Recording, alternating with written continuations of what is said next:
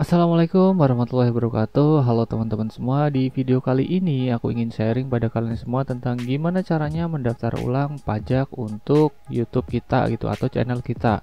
Nah kemarin itu ada yang curhat atau inbox ke instagram aku Tentang Bang saya udah daftar pajak tapi kok tiba-tiba dibatalin oleh si pihak youtube gitu. Nah gimana untuk tutorialnya dan gimana untuk cara mengatasinya? Simak terus video ini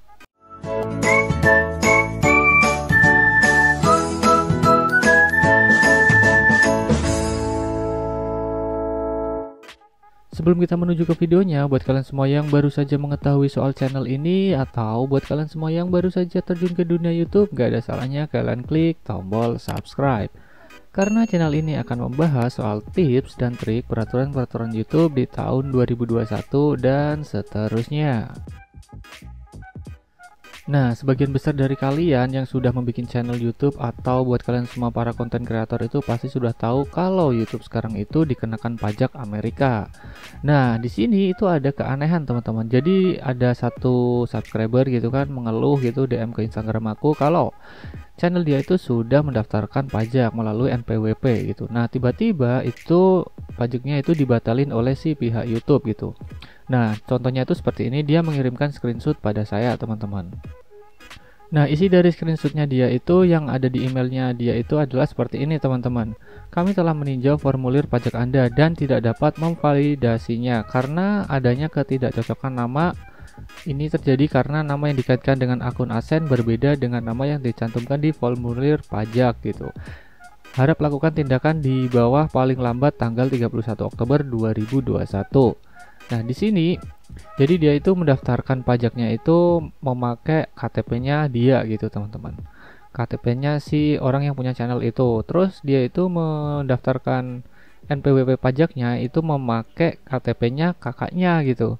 Jadi beda gitu. Jadi dia itu memakai pajaknya si kakak, terus sedangkan AC-nya itu memakai KTP-nya dia, teman-teman. Jadi itu udah berbeda kan.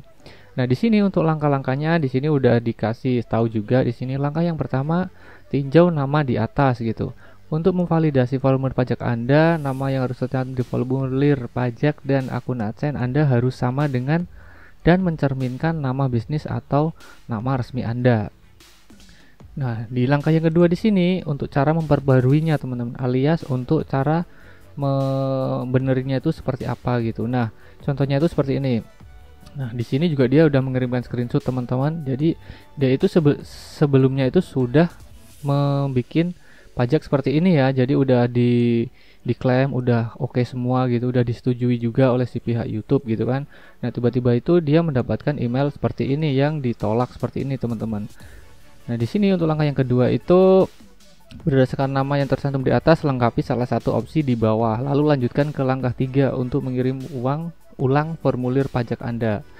Jika kedua nama Anda sama tetapi memiliki ejaan berbeda karena terjemahan atau transliterasi lengkap dokumen, sertifikasi nama lengkap resmi, dan kirimkan ulang formulir pajak Anda. Jika nama yang tercantum di AdSense adalah nama resmi Anda, kirimkan ulang formulir pajak Anda menggunakan nama tersebut. Jika nama yang tercantum di formulir pajak Anda adalah nama resmi Anda, perbarui nama yang digunakan di AdSense, lalu kirimkan ulang formulir pajak Anda. Jadi yang dimaksud di langkah kedua ini, ini adalah yang paling penting teman-teman dan harus diketahui juga. Nah untuk langkah yang kedua ini yang dimaksudnya yaitu adalah Nah, seumpama di sini nama kalian itu yang nama adsense itu nama resmi kalian gitu. Alias channel itu punya kalian pribadi gitu, punya kalian sendiri dan sudah didaftari memakai KTP kalian sendiri. Jadi, yang harus kita lakukan yaitu adalah kita harus mengganti nama atau kita harus mengirim ulang formulir pajak kita menggunakan NPWP nama kita sendiri teman-teman. Jadi kita itu harus membuat NPWP yang sesuai dengan nama kita pribadi seperti itu.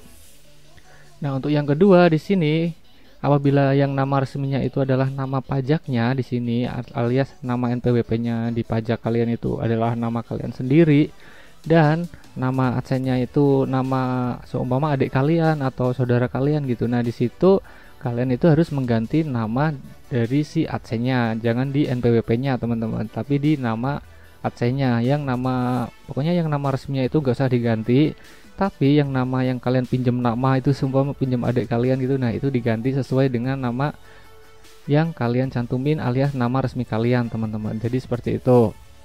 Nah terus di sini lanjut ke langkah yang ketiga ya di sini langkah yang ketiga kirimkan ulang formulir pajak anda paling lambat 31 Oktober 2021 nah di sini cara untuk mengirimkan ulang itu adalah buka di akun AdSense channel YouTube kalian gitu kan terus buka di pembayaran dan kelola seperti biasa lah nantinya itu akan seperti ini teman-teman Nah jadi gimana cara mengantisipasinya atau cara membenerinya pajaknya biar bisa disetujui ulang gitu. Nah di sini untuk langkah yang kedua ini kalian perhatikan saja teman-teman. Jadi intinya itu ada di langkah yang kedua ini.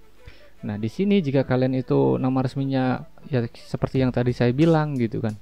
Apabila nama adsense kalian itu nama resmi ya udah kalian ganti saja nama NPWP kalian sesuai dengan nama resmi kalian.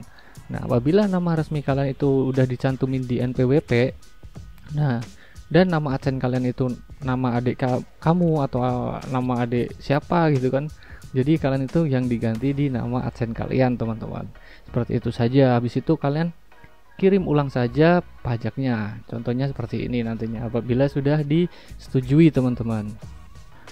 Nah, setelah kalian itu sudah mengganti semuanya yang ada di langkah kedua ini, pokoknya kalian perhatikan saja di langkah kedua ini, kalian sudah mengganti semuanya dan sudah mengirim ulang untuk formulir pajak kalian gitu kan. Nantinya itu kalau sudah disetujui akan ada di email lagi akan dikirimkan email dan isi emailnya itu seperti ini teman-teman.